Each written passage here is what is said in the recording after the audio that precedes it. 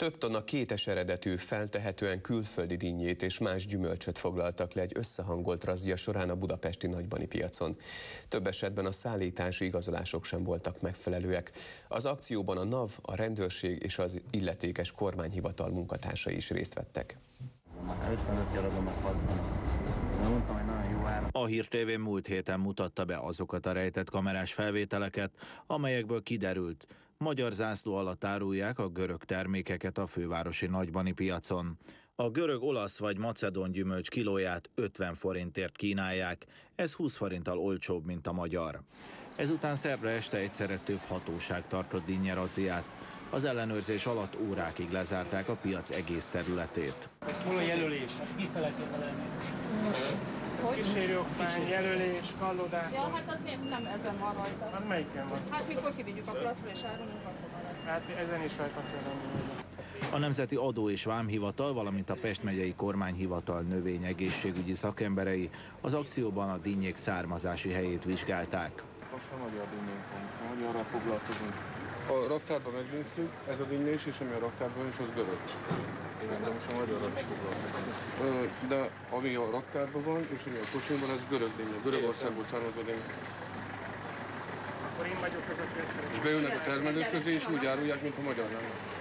A magyar termelők között úgy árulják, mint a magyar lenne. És görög... Magyar De, de az elébb azt mondta, hogy görög is.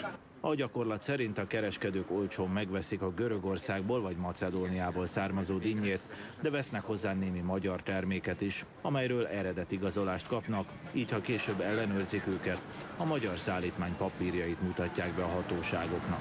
Külföldi dinnyéről mindig árulkodik, hogy egy összeszáradt ö, csuma, tehát a magyar dinnye, az friss, zöld, frissen van levéve. Ez a dinnye, aminek így össze van száradva a csumája, ez körülbelül két hete lett a termőföldről levélve.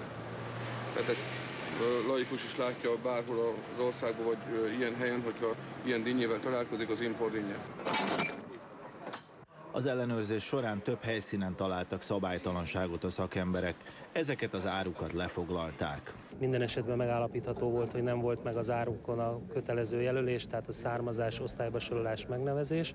Ezekben az esetekben a termék megsemmisítésre kerül, illetve találtak olyan paradicsomot, paprikát, ahol bírság kiszabására kerül majd sor. Amit itt a területen találtak, úgymond ismeretlen eredetű dínyét, azt pedig azonnali hatállyal megsemmisítettük. Szerintem meglátták, hogy ott vagyunk, és itt vagytok minden, elkezdtek lepakolni, itt hagyták így az egészet. Az ellenőrzés miatt több kamion kirakodását egész egyszerűen abba hagyták a munkások. A vidékfejlesztési minisztérium ezentúl rendszeressé teszi az ilyen razziákat. Most kifejezetten a dinnyére és a tojásra fókuszálunk, de ezt ki fogjuk terjeszteni más árukra is. Tehát ugye hamarosan indul a hagymának a szezonja, illetve más termékek vonatkozásában. Rengeteg olyan információval rendelkezünk, ami azt igazolja, hogy Makedóniából, Szerbiából jelentős mennyiségű áru érkezik ide a Nagybanira, itt átcsomagolják és magyar termékként ö, forgalmazzák. Tehát mindenképpen addig fogjuk folytatni ezt az ellenőrzést, mint ahogy korábban mondtam, amíg rendet nem teremtünk a nagybani piacon.